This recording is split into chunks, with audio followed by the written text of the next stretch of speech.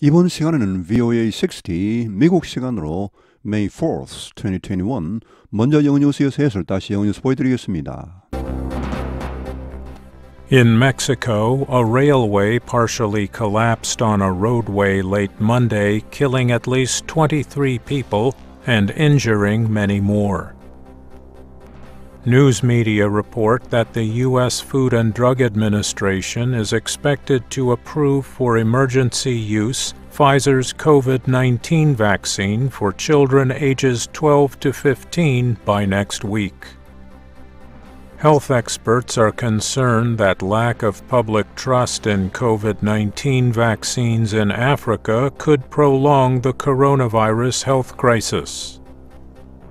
And the administration of President Joe Biden this week raised the number of refugees the United States will accept this year to 62,500.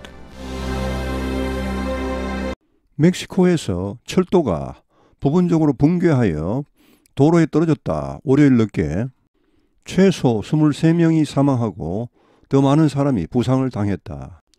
뉴스 매체가 보도했다. 미국 식약처가 긴급 사용을 허가할 것으로 예상된다고 화이저의 코로나19 백신의 12세에서 15세까지의 아동들에 대한 긴급 사용을 허가할 것으로 예상된다고 다음 주까지 허가할 것으로 보건 전문가들은 우려했다.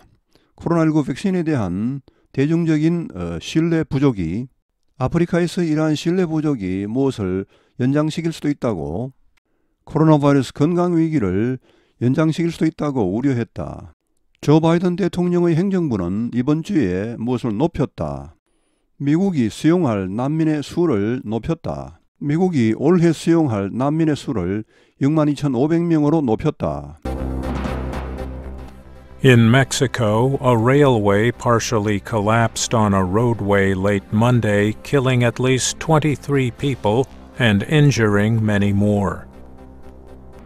News media report that the U.S. Food and Drug Administration is expected to approve for emergency use Pfizer's COVID 19 vaccine for children ages 12 to 15 by next week.